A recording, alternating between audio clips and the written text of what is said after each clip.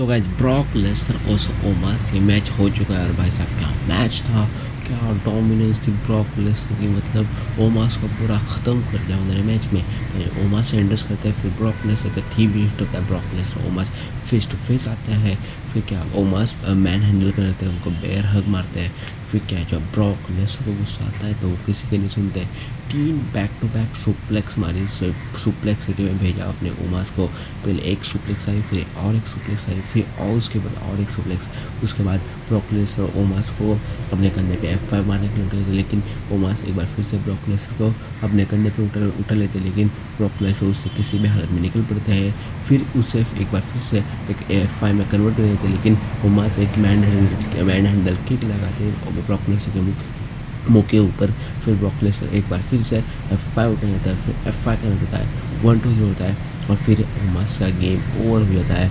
मतलब ख़त्म वाली गजब की डोमिनेंस देखने को मिली अपनी ब्रॉकलेसर की।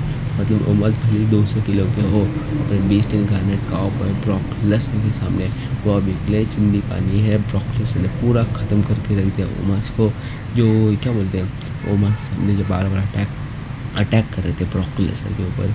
वो पूरी तरह से अभी ख़त्म हो चुका है। जिस तरह से ब्रॉक लेसर की हमें इस मैच में दमदार वाली, ख़तरनाक वाली अनलिमिटेड वाली पीस वाली डोमिनेंस देखने को मिली। पूरा मैच इन्जॉयबल था। पूरा दस मिनट का मैच था।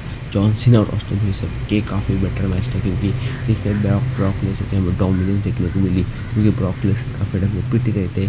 लेकिन काफ़ी टाइम के बाद हमें ब्रॉक लेसर खतरनाक वाली डोमिनेंस देखने को मिली, वो किस तरह से किसी को भी मारते हैं, वो देखने को मिला।